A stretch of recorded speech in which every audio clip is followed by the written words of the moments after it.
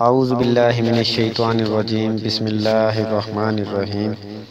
تمام سننے اور دیکھنے والوں کو السلام علیکم۔ دوستو آج میں آپ کے سامنے حاضر ہوا ہوں ایک نئی ویڈیو کے ساتھ۔ فاروق کس کا لقب ہے اور کیوں ہے؟ یہ جاننے کے لیے ویڈیو کو شروع سے لے کر اینڈ تک ضرور دیکھیں۔ اور ایک گزارش بھی ہے کہ جو لوگ چینل پر نئے ہیں وہ چینل کو ضرور سبسکرائب کر لیں اور ساتھ ہی بیل آئیکن کو بھی دبا لیں۔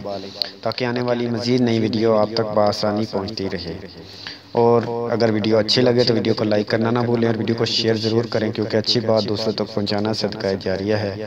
آئیے چلتے ہیں ویڈیو کی جانب۔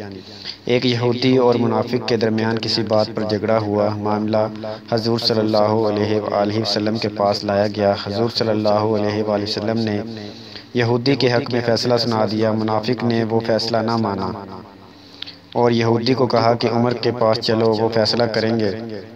آخر کار دونوں حضرت عمر رضی اللہ تعالیٰ عنہ کے پاس آئے۔ معاملہ ان کے سامنے رکھا گیا۔ یہودی نے حضرت عمر رضی اللہ تعالیٰ عنہ کو حضور صلی اللہ علیہ وآلہ وسلم کا فیصلہ بھی بتلا دیا اور کہا کہ اس نے حضور صلی اللہ علیہ وآلہ وسلم کے فیصلے کو نہیں مانا۔ حضرت عمر رضی اللہ تعالیٰ عنہ اندر گھر میں گئے، تلوار اٹھا کر لائے اور منافق کی گردن قلم کر دی اور کہا کہ جو اللہ اور اس کے رسول کا فیصلے کو نہیں مانتا، اس کا ہمارے یہاں یہی انجام ہے۔ جب حضور صلی اللہ علیہ وآلہ وسلم کو پتہ چلا تو حضرت صلی اللہ علیہ وآلہ وسلم نے حضرت عمر رضی اللہ تعالیٰ عنہ کا لقب فاروق رکھا کیونکہ آپ کے اس فال سے حق و باطل میں فرق ہو گیا۔